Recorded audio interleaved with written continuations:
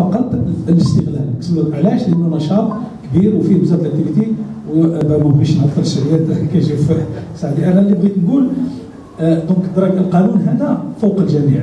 وحنا كشركة دابا كنهضر على كمجموعه شركات تحت طائله القانون. لا يمكن نتجاوز القانون. وكما قال حنا مستعدين للجلوس ودائما كنا ماشي اليوم ماشي أمس في إطار التعاون مع البروفيسيونال ديال هذه المهنة وفي إطار التاطير ديال الخدمة ديالنا ولكن ال dragage c'est activité internationale العالم كله.